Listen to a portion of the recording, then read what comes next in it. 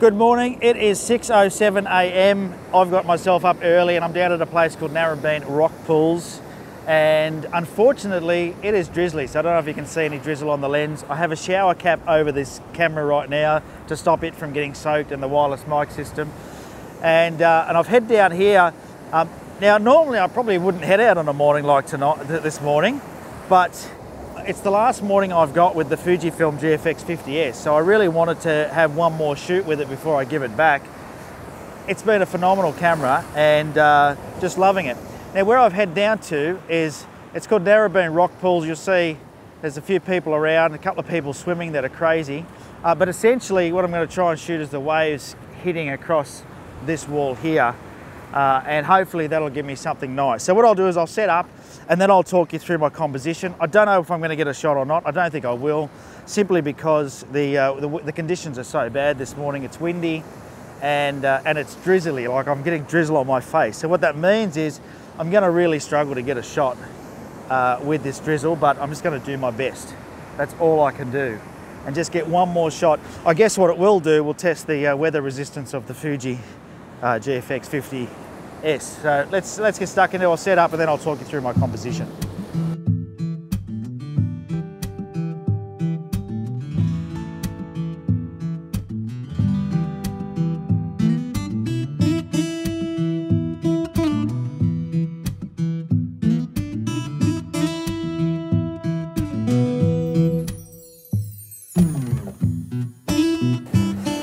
Right, so I've got the camera set up and you might notice I've got a baggie on the top here. I mean, this camera is weather resistant, so I don't have to worry too much. Um, I am noticing though, you've got a few droplets on your screen. It is still drizzly this morning, so let me just clean that off. There we go. May hopefully see a bit better. Alrighty, so I've got my composition sort of sorted. I'm doing the best I can. It's a terrible morning.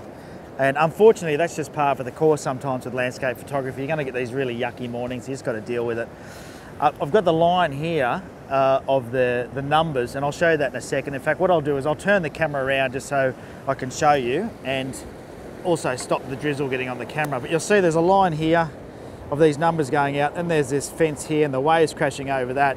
I'll just, I'll come up here and, and, and turn around this way just so we don't have to worry too much about the weather as I talk you through what I'm thinking with the composition. So for me, you know, with things like this, I'm looking for a leading line, and I'm hoping that what I can do is get uh, you know the movement of the water.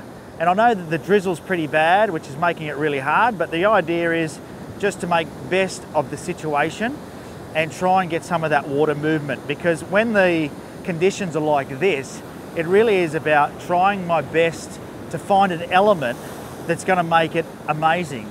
And for me that's what it's all about is I want to make sure that that I'm capturing the, the movement, the motion, all the energy of the sea because I, I want to um, yeah, I want to get a great shot. So, did that guy just take my camera? Did that guy? I think he just took my camera.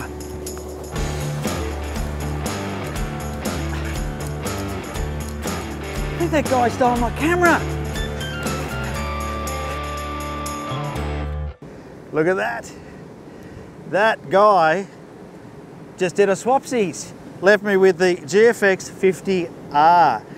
So obviously by now you've realised the whole thing was a setup and a prank and a way just to swap over from the 50S to the 50R. Thanks to the guys at Fujifilm Australia. I'm going to be playing with this in the next few videos, so keep watching.